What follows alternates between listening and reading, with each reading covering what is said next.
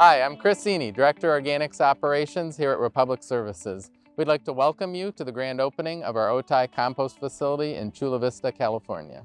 Today is an exciting day for all of us at Republic.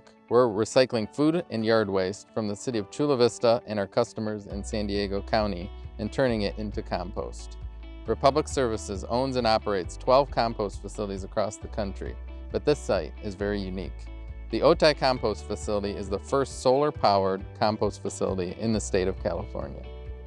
And this facility is the first of its kind, completely solar-powered, off the grid, sort of compost facility to handle or organic waste, which is green waste and food waste uh, for the, uh, the county of San Diego, the city of Chula Vista, and really Southern California in general.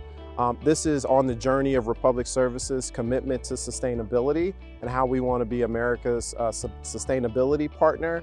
And in this particular region, it's infrastructure poor as it relates to dealing with organic materials. And we feel like this investment here, right here in Chula Vista, right here in Southern County, San Diego, is gonna be great for the community, the residents, and it's gonna provide a vital outlet uh, for this organic material for years to come. This particular site uh, can handle uh, currently 100 tons a day and it will handle up to 200 tons a day uh, when it's at full capacity. That's about 60,000 tons of organic materials a year, and we think it'll serve uh, San Diego and Chula Vista uh, for many years to come. This composting facility will help the City of Chula Vista comply with new food and organic waste collection regulations.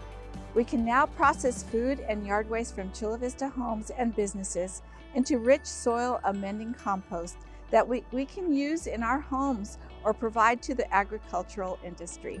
Keeping food and yard waste out of the landfill also helps the City of Chula Vista meet our climate action goals. This facility is so vitally important to really helping the state deal with our battle against climate change.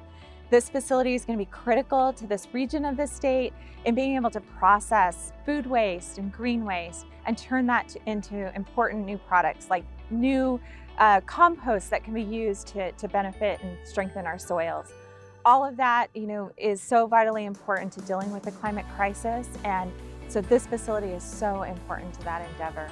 And we're really grateful to Republic Services for investing in this facility and playing such an important role in this region.